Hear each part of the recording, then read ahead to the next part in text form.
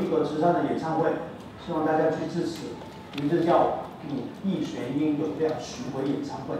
大爱剧场语录主题曲的制作人易杰奇与武冠彦在马来西亚吉隆坡静思书轩举办的媒体发表会中表示，将把大马慈善巡回演唱会的收入全数捐给慈济基金会的幸福校园计划。然后幸福校园计划呢是针对学校，让这个学校有更好的环境，还有这个呃补习课课业辅导的种种管道，减少辍学率，然后呢也提升他们。的这个学习，其实我们要感谢刘继宇师伯跟那个简师姐。我们发现说，原来每一个慈济所做的一个项目呢，他们都会亲身的去到家访啊，就是看清楚到底是真正是不是需要。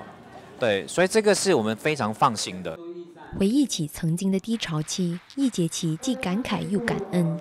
如今重新出发，他特别能同理弱势群体被关爱的需要。因为这几年其实我得了很严重的抑郁症，我得到很多人的帮助，啊，很多人拉我一把，在及时的时候拉我一把，那种温暖我及时就可以感受得到。所以我想把这些感恩的心跟这些温暖。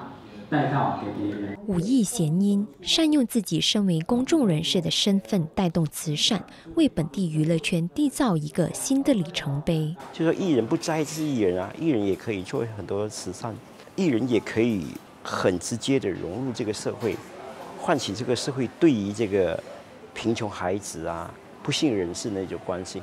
哇，这是非常棒的。人人工作之余，也不要忘了以爱的行动回馈社会，让爱的音符伴着空虚的心灵，重建生命的力量。大爱新闻邱婉静、林英义，马来西亚吉隆坡报道。